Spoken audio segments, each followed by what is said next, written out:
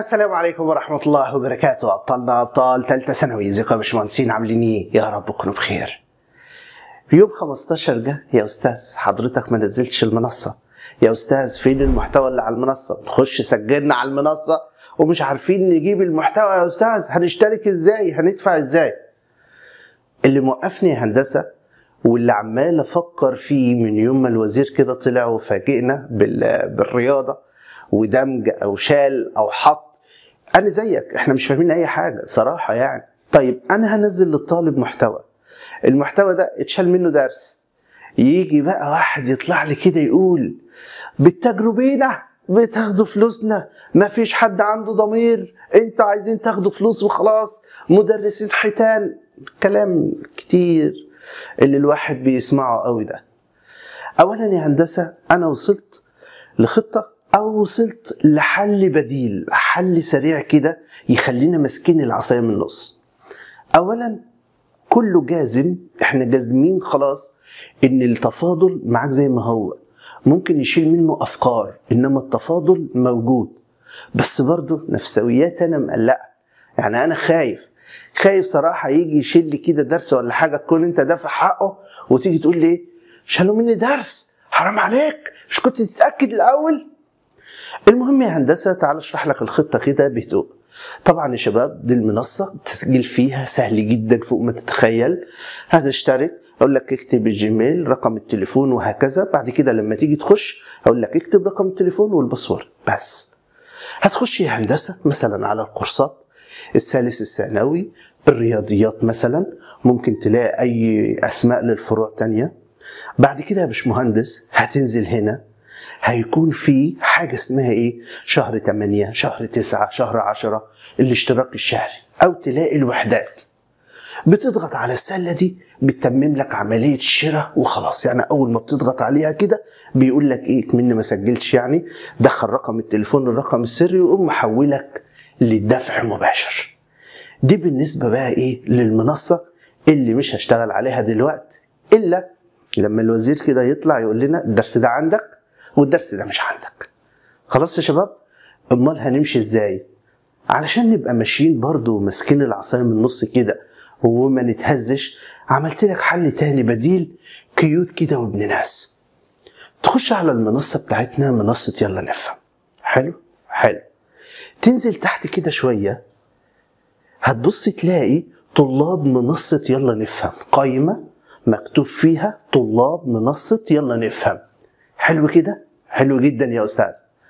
لازم تضغط على القايمة دي. لما بتضغط عليها وتخش تخش هنا هتلاقي فيديوهات الدرس الأول اللي كان المفروض تنزل لك على المنصة. تعال نروح للكمبيوتر عشان تشوف الكلام ده أوضح. يلا بينا يا أستاذ. يلا يا حبيبي. أهلا بيكم يا وحوش مرة تانية. بعد ما دخلت على منصة يلا نفهم كده هتنزل تحت هتلاقي طلاب بنصة يلا نفهم. لو داخل من الموبايل انزل لتحت شوية هتلاقي طلاب منصة يلا نفهم. اضغط على قائمة التشغيل دي.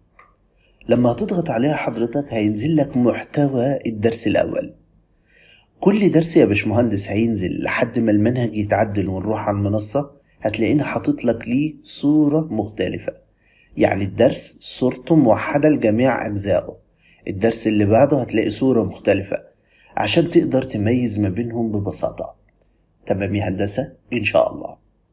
هتلاقي المحتويات بتاعك. أول حاجة أول درس ده تراكمي الدرس الأول. إيه الأساسيات اللي أنت محتاجها من السنين اللي فاتت في الدرس الأول؟ تاني حاجة اشتقاق الدوال المثلثية اللي هو الشرح. تالت حاجة حل كتاب المعاصر. رابع حاجة حل ملزمة يلا نفهم. طيب هنحل الملزمة إزاي وإحنا مش معانا الحاجات دي أصلا؟ وإحنا مش معانا الملزمة أصلا نجيبها إزاي؟ عملت لك برضو حل يا هندسة. ركز كده في الحل. تخش على فيديو الشرح نفسه. الفيديو بتاع الشرح. بتنزل في الوصف بتاعه كده. بتلاقي عند حضرتك ال PDF للملزمة و PDF السبورة. يعني لو ضغطنا على PDF السبورة هتبص تلاقي حضرتك كده عرض لك السبورة المشروحة يعني ده الشرح بتاع السبورة بتاعتنا أهوت. ده كده كل المحتوى اللي في الفيديو. تمام؟ طب بالنسبة للملزمة حضرتك برضو اضغط على الملزمة؟ هتقدر تدخلك على PDF الدرس اللي اتشرح ده بس مش PDF الملزمة كاملة. تمام؟ الدرس اللي اتشرح ده شرح الدرس دي معلومات تراكمية تمام؟ ودي القوانين اللي انت محتاجها بعد كده ده شرح الدرس إثبات واللي انت محتاجه من السنين اللي فاتت بتلاقيه في الجنب كده. أي مستطيل اخضر تعرف إن دي معلومات لا إما مهمة لا إما من السنين اللي فاتت. بعد كده يا هندسة شرح بالأمثلة بكل حاجة. هتلاقي بعد كده عشان الرجالة بتوع الأزهر تمارين المستوى الأول. المستوى الأول ده اللي هو كتاب المدرسة. تمام؟ الأسئلة اللي بتجيلهم من كتاب المدرسة يعني.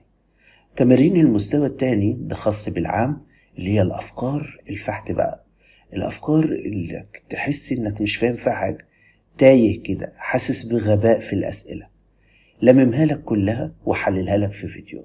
طيب أنا يا أستاذ عندي سؤال وعاوز أسأل. حطيت لك link group التليجرام تقدر تخش على ال group ده وتسأل اللي أنت عاوزه. المهندسين قاعدين حضرتك بيفهموك كل اللي أنت محتاجه بالتفصيل. خلاص يا باشمهندسين يبقى دلوقتي انت معاك بي دي اف الملزمة بي دي اف السبورة آه ال group اللي انت هتسأل فيه. طب بالنسبة يا أستاذ للواجبات والحاجات دي هنزل لك هنا PDF كمان للواجب. طيب مواعيد تنزيل الحلقات إمتى؟ هنزل لك إن شاء الله يا هندسة الحلقات دي حد وخميس. كده انت معاك محتوى بتاع يوم الحد. يوم الخميس الجاي إن شاء الله هننزل لك الدرس اللي بعده. حد وخميس يا شباب لحد ما نشوف الدنيا فيها إيه. ما تقلقش إيه إن شاء الله خير بإذن الله وإن شاء الله منهجك هيخلص زي ما إحنا متفقين في شهر واحد إن شاء الله بأمر الله. طب بالنسبة للكلام ده يا أستاذ هو هيتعرض في المنصة هيكون شكله إيه؟ هيكون شكله زي ما أنت شايف كده.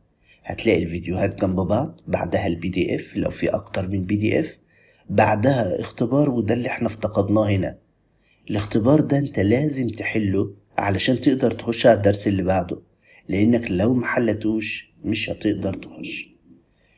آه أتمنى لكم التوفيق يا شباب محدش يقلق خالص.